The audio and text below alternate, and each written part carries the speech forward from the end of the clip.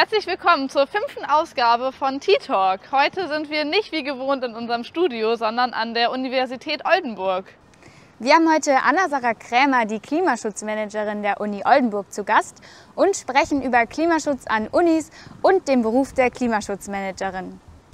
Ja, wir freuen uns sehr, dass du jetzt bei uns bist, liebe Anna. Und wir starten auch direkt durch mit unserer Schnellfragerunde. Die nennt sich Abwarten oder Tee trinken. Wir werden dir jetzt gleich vier kurze Fragen stellen. Die lassen sich alle mit Ja oder Nein beantworten. Und wir schenken uns gleich den leckeren Eistee ein, den wir mitgebracht haben. Und dann heißt, wenn du trinkst, ja. Und wenn du nicht trinkst, bedeutet nein. Ah, okay. Gut. Und wir machen auch mit. Also du musst nicht alleine trinken. okay.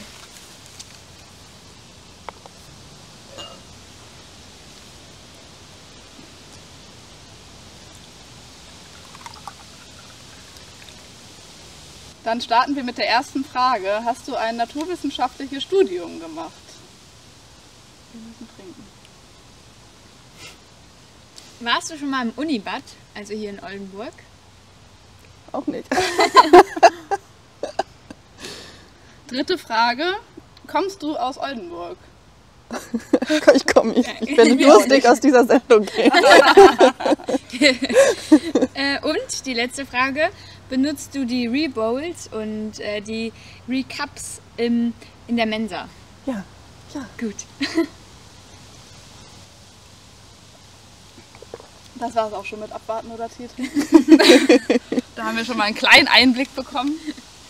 Aber wir hoffen natürlich, dass wir jetzt noch dich mit Fragen löchern können und wir noch tiefere Einblicke bekommen. Also bei T-Talk ähm, interessieren wir uns halt auch immer so ein bisschen ja, nach den Berufen und Werdegängen in dieser Nachhaltigkeitsszene. Und deswegen würde uns auch interessieren, was hast du so studiert? Wie war dein Werdegang so nach der Schule? Genau, also nach der Schule war ich direkt erstmal Au pair in England, habe das dann äh, ziemlich schnell wieder äh, abgebrochen und äh, war dann früher wie erwartet äh, wieder zu Hause und habe dann in meiner Not sozusagen angefangen, an der Hochschule Bonn-Rhein-Sieg in Bonn ähm, dann BWL zu studieren im Bachelor und habe dann aber meinen Master hier in Oldenburg ähm, gemacht im äh, Nachhaltigkeitsmanagement, also Sustainability Economics und Management. Okay. Und jetzt bist du Klimaschutzmanagerin der Uni Oldenburg. War das schon immer was, was du dir auch so während dem Studium vorstellen konntest, das mal zu werden? Oder kam das dann eher so plötzlich?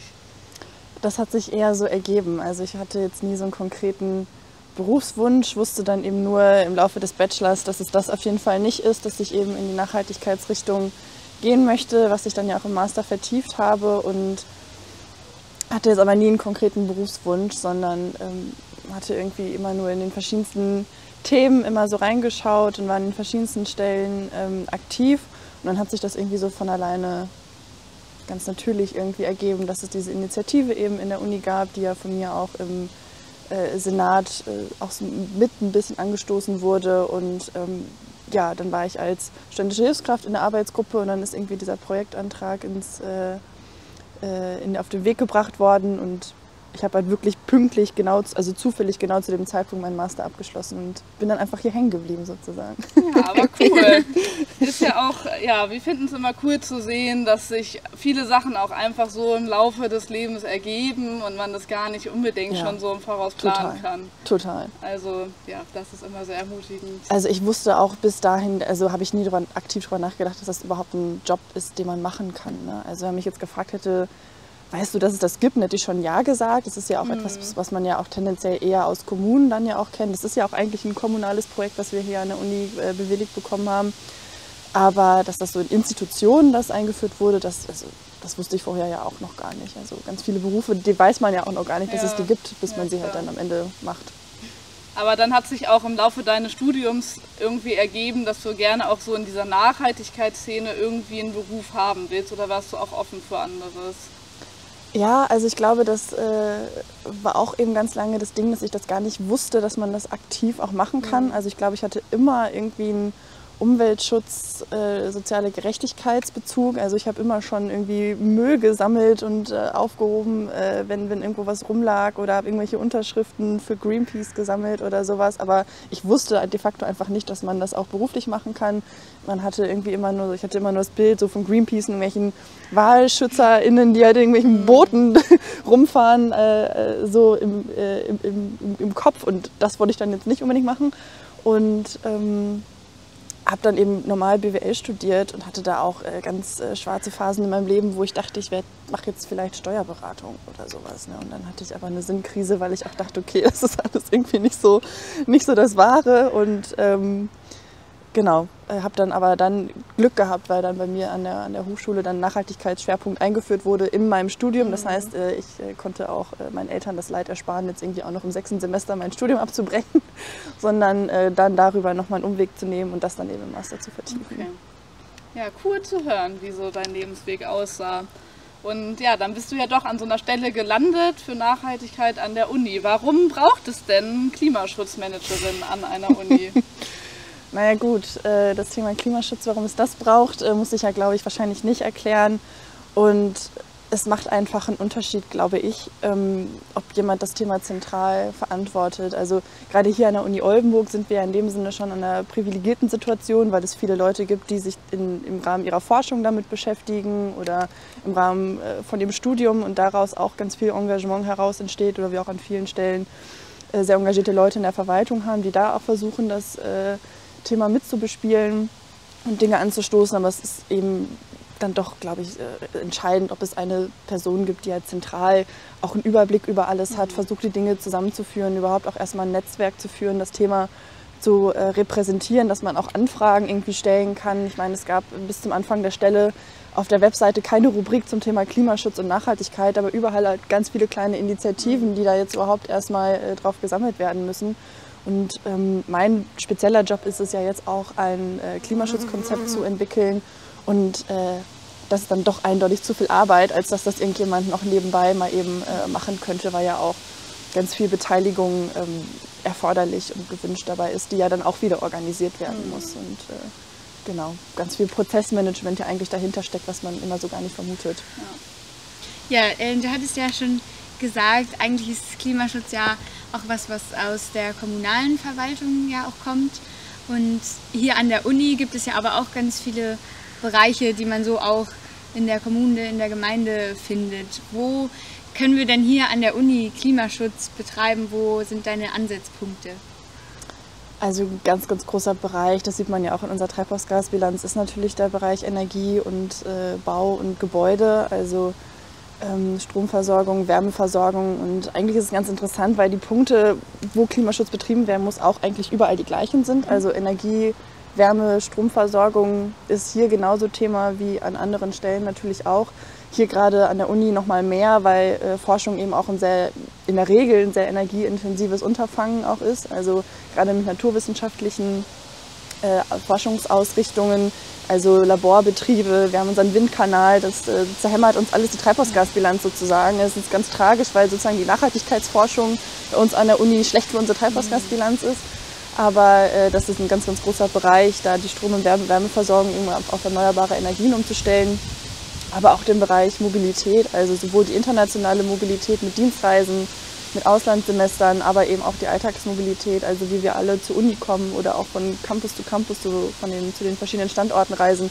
Das sind alles Bereiche, die sich eben äh, auf den Klimaschutz äh, auswirken oder auf die ja, auf unsere Treibhausgasbilanz, auf die, auf, auf die Emissionen und da eben auch ganz viel Potenzial ist.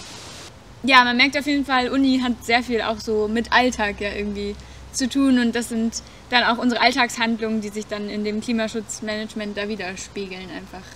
Ja, Sehr total. spannend.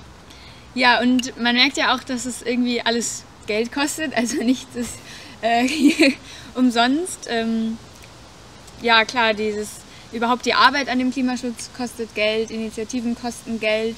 Wo kommt es denn überhaupt alles her? naja, also erstmal ist dieses Projekt, was wir jetzt machen zur Erstellung des Klimaschutzkonzeptes ja auch gefördert vom Bund. Mhm. Ähm, also das ist sozusagen die Antwort auf die Frage, wo jetzt speziell das Geld für dieses Projekt herkommt, dass wir überhaupt am Ende ein Klimaschutzkonzept haben.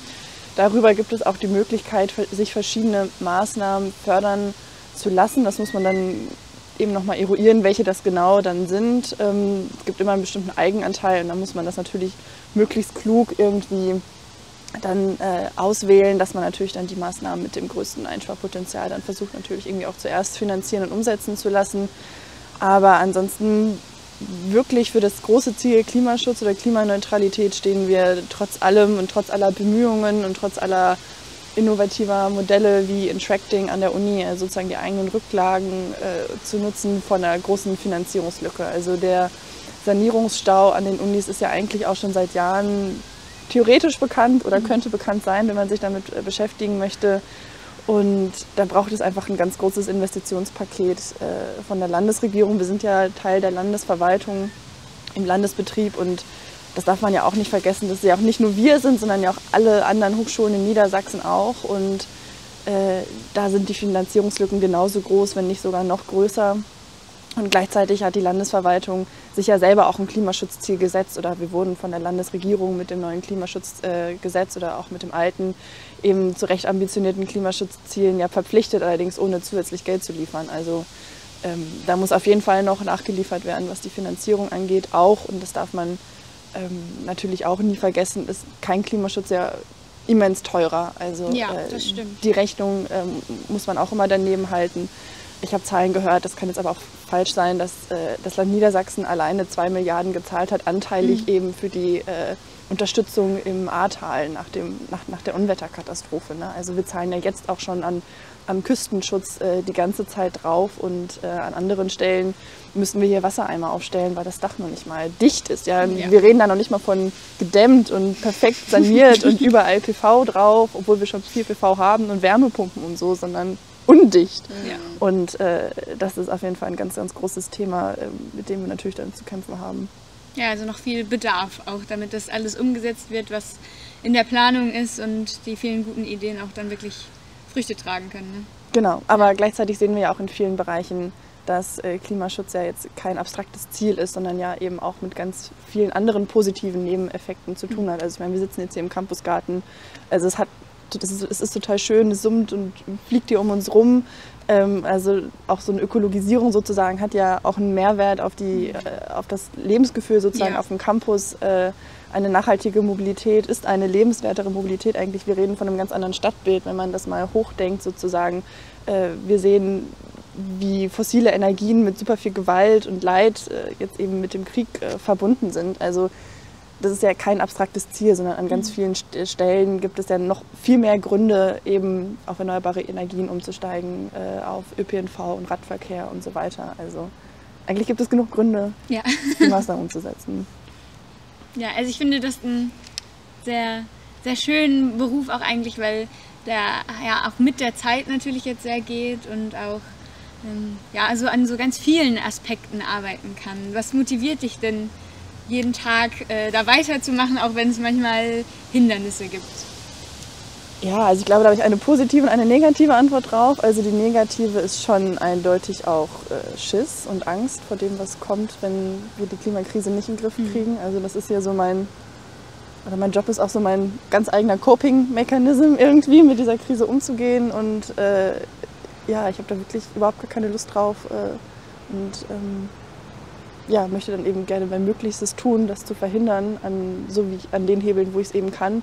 Aber die positive äh, Begründung oder der positive Aspekt ist eigentlich die Arbeit, die, die Arbeit mit den ganzen Menschen, mit denen, äh, mit denen ich tagtäglich zusammenarbeiten darf, weil ähm, gerade hier an der Uni, aber auch generell mein Job ja auch bedeutet, dass ich mich mit total vielen Menschen austausche, die ja die sich auch tagtäglich dafür einsetzen oder auch was verändern wollen. Ich kriege wöchentlich E-Mails mit Menschen, die Ideen haben, von wem können wir nicht hier was besser machen und ich habe hier noch eine Idee und ähm, wie sieht es denn hier aus und ähm, dann kriegt man nochmal ein ganz anderes Bild auch darauf, ähm, wie viele Menschen das Thema eigentlich auch bewegt. Man fühlt sich dann auch nicht mehr so alleine damit und äh, ja, sieht einfach, wie viele Menschen da total Lust drauf haben, da auch was zu verändern und das ist total schön.